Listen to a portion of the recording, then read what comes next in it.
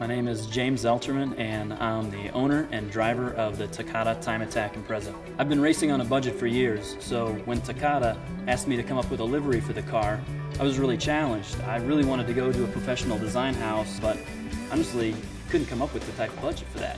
I leaned on the Forza community to try and generate some designs. My name is Andre Guerreri, and I am a tuner and painter in the Forza community. James came to the Forza Motorsport forums saying that he had a contest to design his race livery. When the idea was presented about having something that you create in a video game take a real life form, that was a thrill in itself. There's really two things that the livery has to accomplish. It has to clearly communicate what it is that the sponsor is selling, and it has to be very eye-catching. Once he revealed to us who his main sponsor was, I did research on what I could put on their car that would best exemplify what they do, which is uh, racing harnesses. Andre designed the graphics that you see on the car entirely using the livery editor in Forza Motorsport.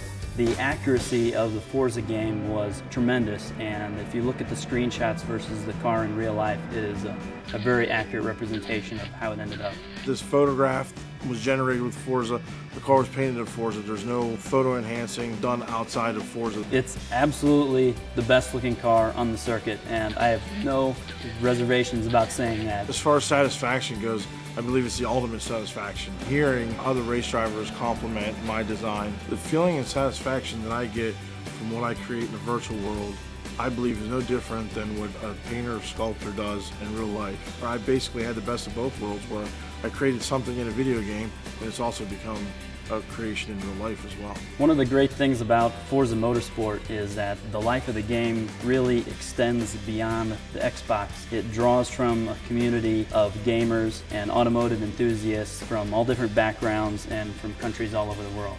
There's no other game that has the level of customization and user-generated content that the Forza series does.